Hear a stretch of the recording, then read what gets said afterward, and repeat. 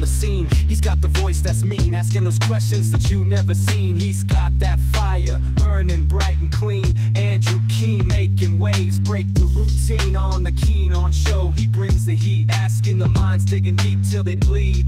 No sugar-coated truths, no lies to deceive. Andrew Keen, the master of the interview beat.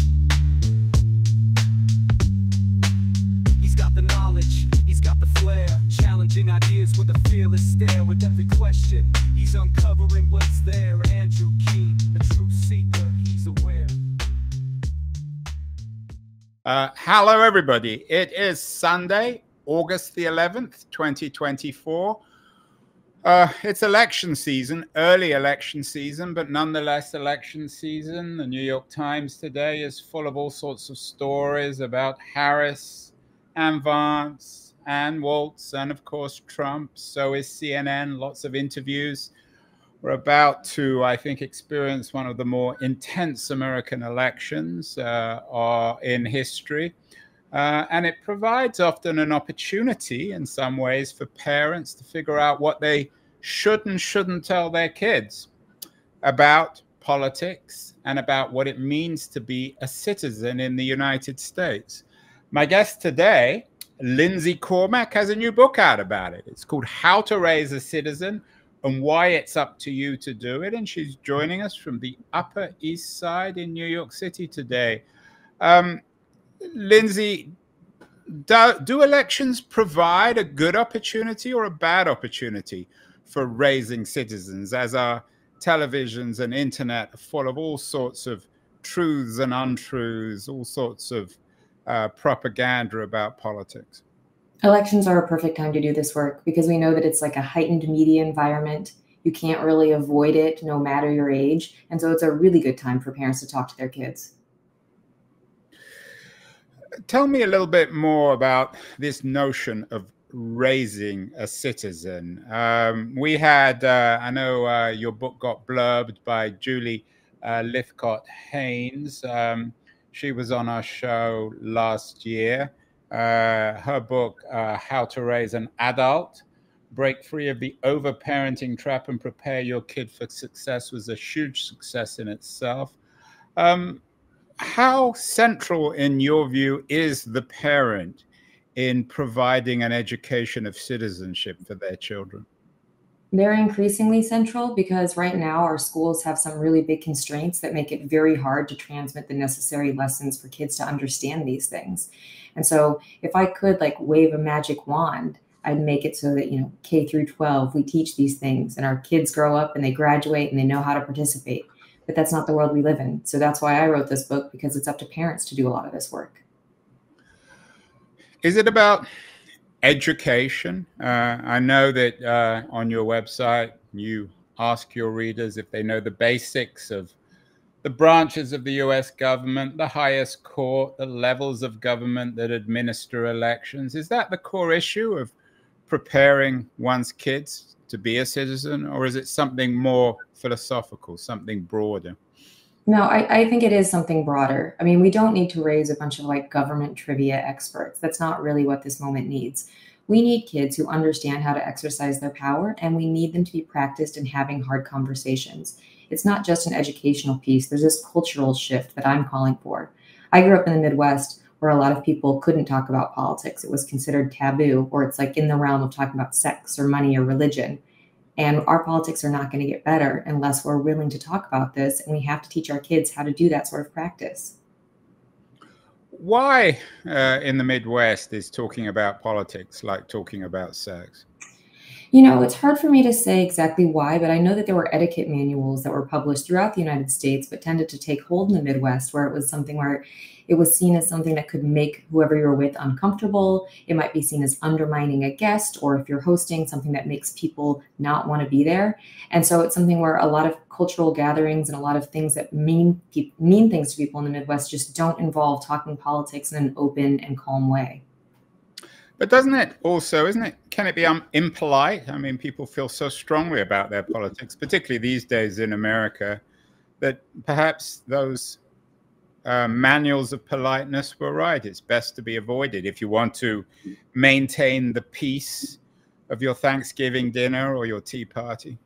Yeah, so there's certainly times and places that might feel more or less normal to do this in. But I think we're looking at it in a little bit of a trickier way. I don't know anyone who thinks our politics feels and functions that well right now. So keeping your peace at one dinner is not going to be something that helps our overall politics. And that's sort of the big argument of the book is we have to talk about this. We think someone else is going to fix it, politics is going to get better, but the reality is no one's coming to save us. It's up to us to be willing to do this work. So, the great question, Lindsey, about the book, How to Raise a Citizen and why it's up to you to do it, is what's your definition of a citizen in a the Democratic Republic of the United States? What, what, do, what do you mean by this word citizen? Yeah, citizen can be a really charged word. And I have something in the first chapter about what it is that I mean when I say this. I don't mean it in like a, a, legal definition where it says, you know, you're entitled to these rights or not. A citizen is anyone who has agency in a system in which they live to change it. And so it's very broad. Children are citizens. Can they vote? No, but they are citizens here, and we need to raise them with all the powers that they'll get when they do turn 18 and are eligible to vote. I'm not clear though of that answer. I mean, what should you tell your kids that it's perhaps your responsibility to vote, uh, although many Americans don't. More Americans don't vote than voters in many other countries. Is it one's responsibility as a citizen to go to one's local school board, to read newspapers, to keep up to date with the news? Uh, what, what exactly is being a citizen? Yeah, so good citizen that is, of course. I'm sorry, what was this last part? Good citizen. Oh, yeah. It's someone who understands and is capable of changing the world that they live in. And so, does that mean voting? Yes. When I go through the five things that I think your kids have to know before they leave your house, the first one is all about voting. They need to understand how to register, they need to understand what the deadlines are, they need to understand how to actually do it. And so, I do think that's an important part. Do you have to read a newspaper every day?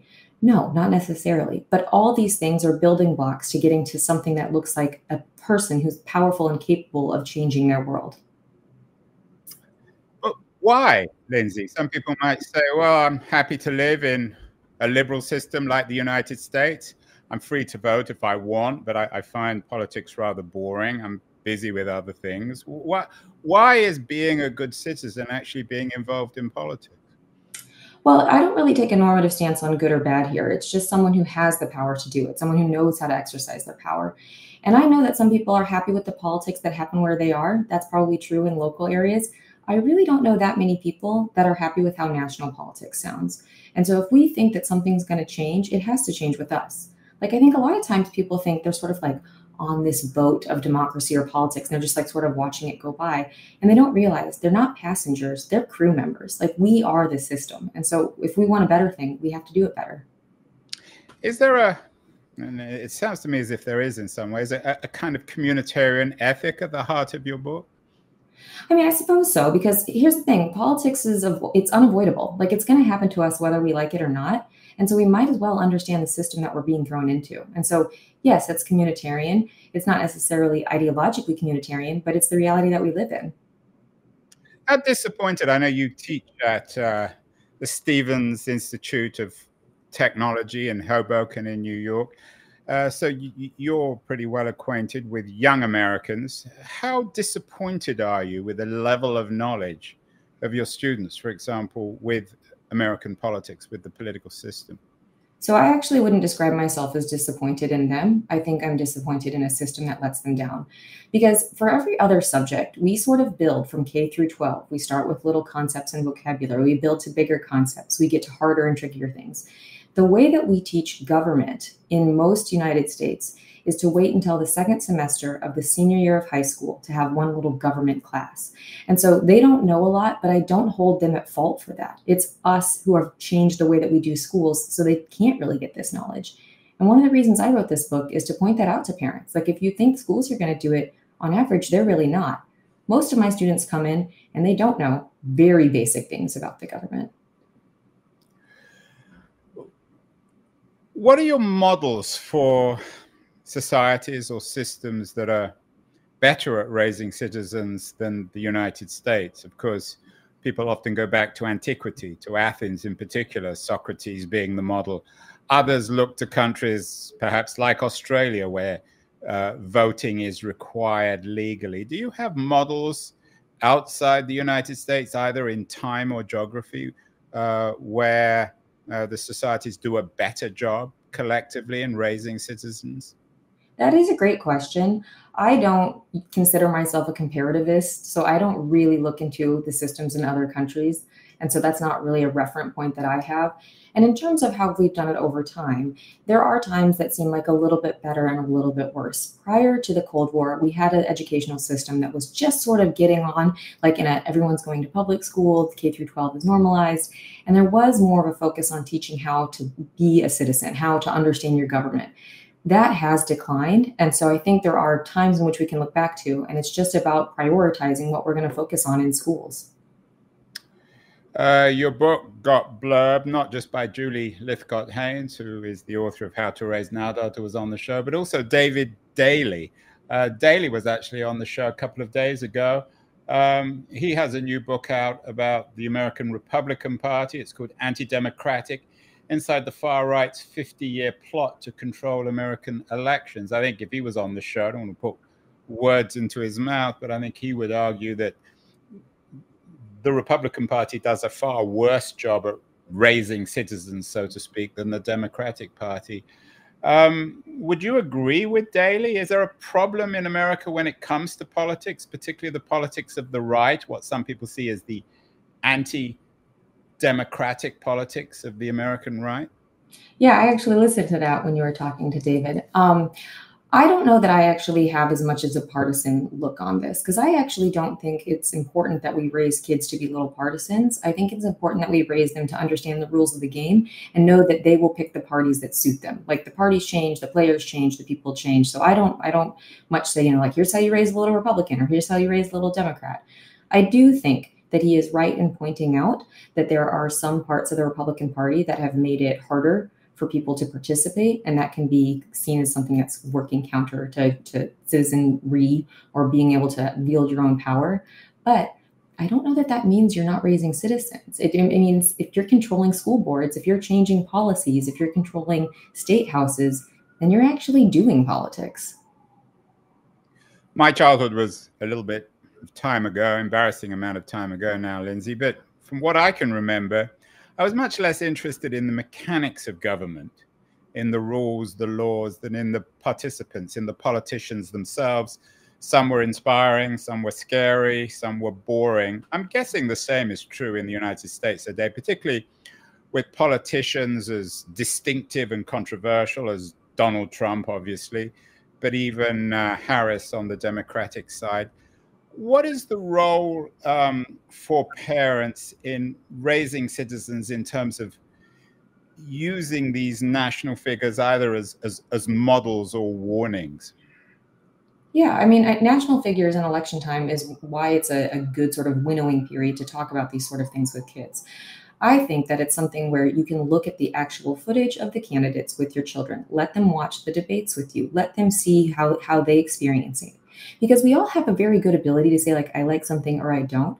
And so it's not so much about saying to them here's how you should think about this or here's who you should like. It's about exposure. It's about knowing that they can come to you on these questions on these topics and care about it with you. That's something that we don't really have a culture of doing. We like don't really know how to talk to our kids about these things and oftentimes we just don't include them. But don't we need to be honest about ourselves, Lindsey, that none of us are unbiased, and that particularly in an age in America, absolutely, profound divisions, it's very hard to say give a, a, a, civic education to your child about Donald Trump without either describing him as the devil or some sort of saint. Yeah, and I think that's kind of a problem in US politics right now, where it's like if, if you disagree with someone, they're evil, they're either evil or stupid. And we know that, you know, you can paint those caricatures at the national level, but that sort of rhetoric or narrative being on every part of politics is part of the problem. Most of the people who are working in state and local government who control so many of our quality of life decisions are not either. They're people who are doing their best at jobs that don't pay that well because they think they're trying to make their communities better. And so while I understand there's a lot of stuff in federal politics that's frustrating, part of the reason that I wrote this is for us to sort of widen the scope and make sure our kids know that there's a lot of good politicians, a lot of good elected officials doing things that they're just trying to make like a better version of the world as they see it. uh, using the two vice presidential candidates, Tim Walz and, and, and, and J.D. Vance, do they both fit into that model? I certainly, Walz sounds as if he does. In fact, that's his brand of being an ordinary fellow, just doing his best to make the world a better place. Well, you know, and and Governor Walz has been a teacher. He has a social studies background. He has been a coach. He's been around kids, and so you know this is written far before he's selected. But he does sort of echo some of the things that I echo, which is we need to teach them about these things. We need to show them how to participate. We want them to like this system because it depends on them. If we keep raising our kids to say like, oh, you know, you got to opt out of politics. They're all egomaniacs or they're horrible or they're liars. They're not going to want to make it better. They're not going to want to get involved. And so it's something where I think we have to change the narrative. And I think he's a good messenger for that. Do we need um, a Lindsey to de demythologize politics in the sense of, of, of suggesting to our kids that it's not really about a Trump or a Harris. It's really more about the many Tim Walzes who you don't know who are rolling up their sleeves and doing a decent job improving the quality of local life. And, and, and much of being a citizen is really, particularly in America, given its federal system, is is built on um, on, on, local politics. Yeah, that's that's a big argument of this book. As I say, it's important that we humanize it, and what that means is making sure that your kids have opportunities to meet or get to know the legislators and executives at your state and local level. For instance, I was away with my niece about three weeks ago, and she hears me talk about this stuff. And she's like, Aunt Lindsey, who's my mayor? And I was like, oh, you know, I don't know. I don't live where she lives. And I said, let's look it up. So we got online, we found out who her mayor was, and we sent him an email. And I said, you know, I'm going to be in town in September. Would you like to meet us? Because I think my niece would really be interested in meeting you. And he got back to me within a week and was like, yes. And we've set it up. And so it's important that they just see that these are people. Because a lot of times kids have this idea that like there's like just this big government or something. There's like, you know, these people who are making decisions and you might see them on TV, but they don't really get it. And a lot of times it's your neighbors who are making these decisions. It's the people who are working around your area. And so I do think it's important that we humanize it and let them see the people doing that work. I wonder if we've got a kids watching whether they really want an an, uh, uh, an auntie Lindsey who's going to introduce them to their local mayor. Are most of these people actually rather boring? Yeah, so so a lot of people think that, and they think you know a lot of young teens or young adults are like, oh, I don't really care about this. But when we look at national surveys on this, upwards of seventy five percent of them say they care about current events, they care about people who are in power. They just lack the know how. They just don't know these things, and so I don't really think it's a I don't care about this. Kids are trying to make sense of their world. They know that they're growing up into something, and so we sort of impart the way that we sometimes think about it and I don't necessarily find that in the kids that I work with that are younger or college age. You have a niece, you also have a daughter who you advertise on your website. Um, have you dragged her? Is she into it? Have you are you turning her into a good citizen? I mean, my daughter does a lot of things. She goes to like the state of the district, which is, you know, one of our executives or city council members say, here's what's happening in our district. I'm on our community board. She has to go to some of those meetings with me because oftentimes it's just me and her. So she's seeing this firsthand. And I'll tell you something that is interesting to me about that is I usually have to take her to the first day of school when I teach because my school starts a week or so before hers does. And so she gets to sit in when I give this pretest of all my undergrads. And she is amazed at how little they know. And she's been like that since she was like nine. And so it's it's something where I, I think it's a good thing for her. She doesn't seem to say like, oh, I'm, I always hate this or it's boring. She knows what it is. It is sort of boring, but it's also really important, and it's not something that's like painful. So she pretty much goes along. How old is she now? Twelve now. Sorry. She's twelve now. Yeah, I'll be. I hope you don't have any uh, adolescent rebellion, uh, although, of course, adolescents often choose to find whatever annoys their parents and to embrace it. We are speaking uh, with Lindsey Cormack, who has a new book out. It's called How to Raise a Citizen uh, and why it's up to you to do it. Um, of course, it's preparing us for adulthood and responsibility to read uh, excellent uh, political publications like Liberties, who are supporting our show. I'm going to run a short feature on Liberties, and then we'll be back uh, with uh, Lindsey Cormack to talk more broadly about what it's like to be a kid today, anxiety, and politics. So don't go away. We'll be back in a second. The noise, there is nuance, insight Liberties is not just a journal of ideas, it's a meteor of intelligent substance. It's the place to be for engaged citizens. Politics, opinion, substance. Liberties is a triumph for freedom of thought, a quarterly of urgency, of cultural exploration, of intellectual delight, of immaculate prose. It's invaluable. Subscribe now or find Liberties at your favorite bookseller. And you can subscribe to Liberties at libertiesjournal.com. We're speaking with Lindsey Cormack, the author of How to Raise a Citizen. Uh, Lindsey, uh, raising a citizen, of course, is all about uh, childhood. Uh, your book comes with a blurb from Julie Lythcott Haims, the author of How to Raise an Adult, uh, which is about breaking free of the over parenting trap. It's a very popular book. And there have been many books about the anxiety of children these days, stemming from social media and all sorts of other things. What's your analysis of the current state of uh, the American child when it comes to uh, understanding everything around them? Is there a broad crisis? Well, I think I think it's really difficult. I think you know we have different waves, at least that I've seen. I've been teaching for ten years, and I think the first five years that I was teaching, I saw kids that were deeply invested into their cell phones. That's sort of like where their world was. And then in the last five years, I've actually seen something that looks like a swing back to say, like, you know what, this doesn't feel good for me. It's not healthy for me to always be on here. So I, I do think there is sort of some correction that's happening right now. But it's undeniable that we have a crisis of kids who are suffering from anxiety and depression, and it tends to be hitting girls more. I think Jonathan Haidt's work on this is pretty good. It has detractors, but I think he's mostly right on this. And one of the points that I make in this book is that we all want our kids to be mentally healthy, and some components of that are making sure that they understand the systems that they are a part of. Uncertainty is something that allows information that might not be true to sort of like hang out in your brain and be very scary. So if we can kind of give them the basics and let them feel rooted in the systems that they're in, they're probably more mentally prepared to handle all the different things that they're going to hear in the course of a lifetime about politics.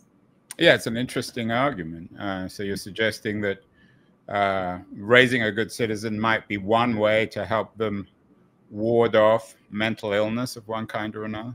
I think it absolutely does. And it's not only just the informational piece. I think if you get involved in local politics, that's a big part of it. Because when we think about local politics, that's something that relies on the in person, routinized performance of people. And so there's a social aspect to that. And when we look at what a lot of kids are missing, and a lot of adults, frankly, is this idea of like dependable socializing ties that give you some sort of sense of purpose local politics can be that. And oftentimes it's not partisan. Like today, I was at a cleanup in my neighborhood I, am in an organization that runs monthly cleanups, and it's just neighbors come together. We provide all the trash bags, we provide the trash pickers and the gloves, and you get to clean up your neighborhood and talk with other people about things.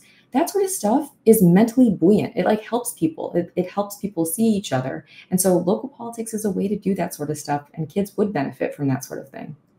What about global politics? What about raising a citizen of the world? Uh, the issue of Gaza, for example, now is very controversial, particularly amongst young people who are concerned with what they see as a genocide. Do you deal with that in the book? You know, all of that happens after the book is written. Um, and so, no, that's not a topic that's got into. I talk a little bit about January 6th, which is, you know, not global necessarily, but there's like a violent component to it.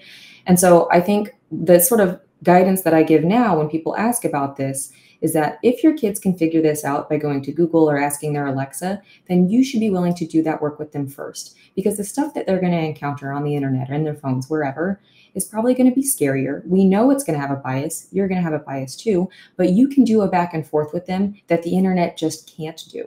And so I think it's important for us to have that sort of relationship with our kids and be willing to talk about those things, even if they are scary or seem bigger than them. What about complicate? I mean, politics is by definition, Lindsey, complicated. The Black Lives Matter movement, the Me Too movement, they're very controversial, different reads on what it means to be an African American or a woman in America, given historical controversies, given the existence of slavery, given discrimination. How do you raise a citizen to make them aware of the complexity of these issues? Well, so th- that's a great question. It's very hard because, you know, we're not going to be experts on everything. And so it's too much, I think, to put on parents to be sure, like, oh, your kids need to know every piece of this. I think they need to understand a process. And that's something that you can model for them and with them. So like if they come to you with a question about something, instead of saying like, I don't know, we'll talk about it when you're older, I think, and the way that I frame it in the book is you can say like, oh, let's go learn more together. And so I think it's like saying, let me show you how I can approach new topics, not necessarily here's all the information on all these new topics, but sort of like breeding that curiosity, that ability to go to that second order question. I think that's important. And we often don't give it to them in politics. What about the issue of overparenting? That's a, a big issue, particularly uh, people in San Francisco and in the upper west and east sides of New York. Uh, Julie Lythcott Haims writes about that. Is there a danger that one can overparent a citizen? Uh, Lindsey, go the other way and spend all your time talking about what it means to be a citizen to your nine or 10 year old? Yeah. So, I mean, there's nothing that I'm like, it's not like sit your kids down and lecture them, you know, every birthday party about dividing like cake and pizza is something about like dividing federal government resources. That's like not at all what I'm what I'm sort of going after. And so it's certainly possible to overparent on any sort of axes. I don't know that it's possible to overparent if the only outcome is, hey, I'm willing to talk to you about this. And hey, before you leave, I'm going to teach you how to participate in this system. I don't think that there's a true risk there. And I do believe a lot of what Julie Lythcott Haims wrote. Her book was very inspiring to me. And I saw what she saw. You know, she's at Stanford, I'm at a tech school. Even these very capable, very bright students oftentimes come in lacking these sort of skills that we would have as college students even 10 years ago. And so I, I think she's right that handholding too much is a problem. But if we look at things like voter registration for 18 year olds, only about a quarter of them are registered. And so it's not necessarily handholding to get them to exercise a power that is theirs to wield. They just don't know how. Which political party is doing a better job? The Republicans are very active. We've done shows about their uh, involvement with young people. Democrats, of course, are too, particularly given the excitement now around Harris. Do you think the parties go about the idea of citizenship and educating young people in the same way in America? I mean, the parties have different strengths. Um, I think they, they both have strengths, they both have weaknesses. If we look at just empirical data, younger voters right now tend to prefer the Democratic Party at least slightly, but there's also good evidence that Republican voters tend to like understand some of the how to more than them. And so they have different strengths. And we don't, you know, we don't really have like this nationalizing force of like, here's how Democrats educate kids or here's how Republicans educate kids. It's all the extended party network. It's all the sort of like sticky stuff about what it means to be a Democrat or a Republican. And they have different pros. They're good at different things. You've talked about your niece, you've got a daughter. What about the difference between raising a male and a female citizen? Are they the same things? Yeah, I, I think they're probably different. I can only speak to raising a daughter firsthand, but uh, the school that I work at is about 70% male to female. And so I do get to be around a lot of young adult men. And I think sort of the things that are on their minds tend to be a little bit different than young adult women. And so there are different considerations. In the book, I talk about when my daughter asks me about abortion, because after the Dobbs decision came down, she heard that in school and we had never talked about it. And that's something that that means something different to her than I imagine it would to a boy who's not capable of carrying a baby later in life. And so, yes, it probably means different things in the same way raising boys and girls means different things in a whole bunch of areas. Uh, you mentioned that in the Midwest, sometimes talking about politics is like talking about sex. But for this younger generation, isn't in a way talking about politics, talking about sex? The issue of uh, what kind of sexuality, the trans issue, these are enormously uh, controversial political issues, particularly for young people. Um, so, is in a way raising a citizen um, an attempt to, to, to, to, to help them understand the issue of sexuality and citizenship? Well, I kind of think on any of these things that used to be taboo, it's probably better if we talk about it. And the way that I think about it is if you've ever had like a medical emergency, it might be scary, it might be daunting, it certainly has stuff that you don't know. And usually, to get a better outcome, you go talk to people about it. You talk to a doctor, you get a second opinion, you talk to your friend who's a nurse, whatever. And so, talking about hard things usually leads to a better outcome. So, on all of these things sexuality, drugs, alcohol, politics, I think we are better if we are willing to have the discussion versus not. Lindsey, you mentioned schools earlier. Uh, schools and reading are very much in the news. Uh, earlier this week, uh, Utah got into the headlines, uh, outlawing books uh, by uh, best-selling writers. In your view, I mean, obviously you're a university college professor. Uh, you're not an expert necessarily on education, but are the schools doing a bad job? And some of these book banning initiatives in places like Utah and Florida, are they also contributing to uh, poor education when it comes to citizenship? Yeah, so I, I think there's like kind of a few things that work here. One is it's really hard to say schools in general are doing good or bad at X because, like you said earlier, we have a federalist system. You know, we have 50 different educational systems. And oftentimes it gets devolved down to school boards or county levels or whatever sort of municipal bodies responsible for that. So some schools do better, some schools do worse. But something that I do talk about in the book is that state legislatures are increasingly making it hard to talk about things in a way that helps kids understand civics. And I'll give you an example. In Texas, there was a law that was passed, I think 2018, that allowed students to do something that's known as action civics, which is you like group projects, you like find something in your neighborhood that you're like, oh, you know what?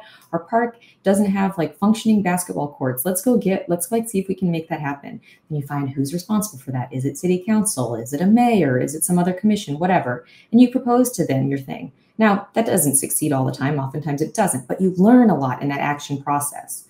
And now in the state of Texas, it's prohibited to have classroom activities where you're going to be contacting elected or appointed officials. And so instead, we sort of teach civics in this like theoretical way instead of the way that people who are education experts say it actually sticks, which is with these practical hands on action civic styles. And so some states are doing it better than others. But the idea that like we're making it harder to do this work in schools is one of the reasons that I think parents have to take it up.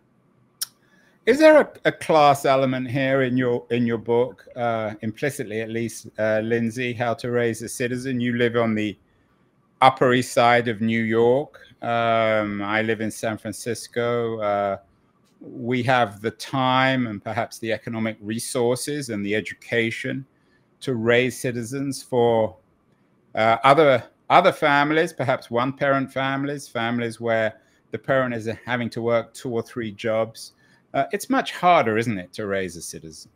It's so much harder. I mean, every everything about participating in politics is a class issue. Everything, if you have less free time, you're going to have less time to dedicate to politics and understanding government.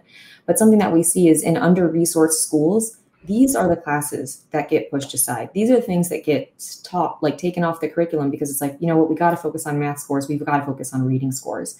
And so there's a class element, of course, but I actually think that's one of the reasons that we should have these discussions in our homes because across all sorts of socioeconomic status placements, these are important conversations. Power flows to people who know how to wield it. And if your kids aren't going to get that in the schools, especially if your schools are underperforming, it's even more important that you sort of take that work, work on yourself. Well, Lindsey, finally, we're I mean under 100 days away from the election. Um, briefly, but finally, what, what should parents be doing in in the next three months as the television and the media is is flooded with information about politics? Some of it true, some of it not, some of it inflammatory, some of it quite educational. What advice would you give parents in the next hundred days in terms of giving them the opportunity to raise a citizen? If you have kids who are 18 to 22, this is their first time participating in a presidential election, you need to teach them how to register to vote. And I think it's important that you do that where they are going to live for the election, not expect them to come home or cast an absentee ballot. So that means saying if you're going to college, figure out what the rules are in your state. I think it's important for our kids to have this idea of federalism where they know that it's not just the presidential election. There's elections for every House member, 34 senators, tons of state elections, tons of local elections. Make sure they understand that there's different things at play and it's not all presidential hype. And I think it's important that you are willing to have conversations with them. Don't be someone who's shut off. Let them practice with you because oftentimes I get college students who just aren't practiced in this. They don't know how to have hard conversations. They're afraid of making people uncomfortable and they're afraid of being uncomfortable themselves. And nothing gets better if we're not okay to sit in a little discomfort. So, those are the things that I would tell parents to do in the next three months.